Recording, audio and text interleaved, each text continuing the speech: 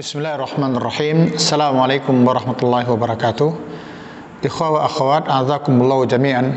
Pada pertemuan kali ini, saya ingin sedikit membahas sebuah pertanyaan dari beberapa jamaah, yakni manakah yang lebih utama, melaksanakan puasa Syawal terlebih dahulu atau mengqadha puasa Ramadan yang tinggal pada Ramadan yang baru ini.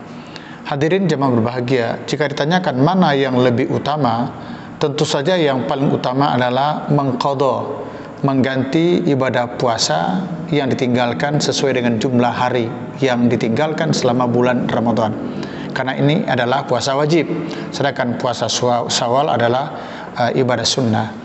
Namun persoalannya adalah mengerjakan puasa Syawal itu walaupun hanya enam hari tetapi dia hanya ada di bulan syawal. Sementara mengkodo itu adalah puasa wajib dan dia ada dengan waktu yang cukup panjang. Firman Allah yang menyebutkan fa'iddatun min ayyamin ukhar maka diganti pada hari-hari yang lain itu bermakna mulai dari tanggal 2 Syawal kemarin itu sampai nanti masuknya Sa'ban bulan uh, tahun depan tepat seperti itu oleh karena itu, eh, ikhwah wa akhwat azakumullahu jami'an, bagi sebagian orang tidaklah mudah untuk mengerjakan puasa Syawal yang enam hari itu. Misalnya seorang ibu yang masih dalam usia produktif di mana setiap bulan dia berhalangan kedatangan menstruasi. Misalnya Ramadan kemarin, dia tidak berpuasa selama tujuh hari. Artinya dia wajib mengkodok puasanya selama tujuh hari. Kalau keadaan seperti ini ketika masuk Syawal sekarang ini kita hitung katakanlah Syawal itu berjumlah 29 hari.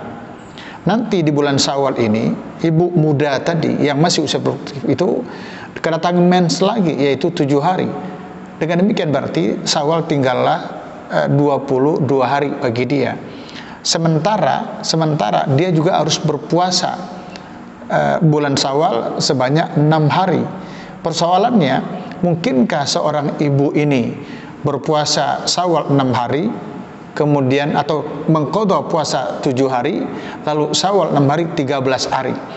Mungkinkah seorang ibu ini ya saudara kita yang usia produktif ini untuk berpuasa selama 13 hari di bulan Sawal ini jika memungkinkan, tidak ada halangan, tidak ada penghalang bagi dia.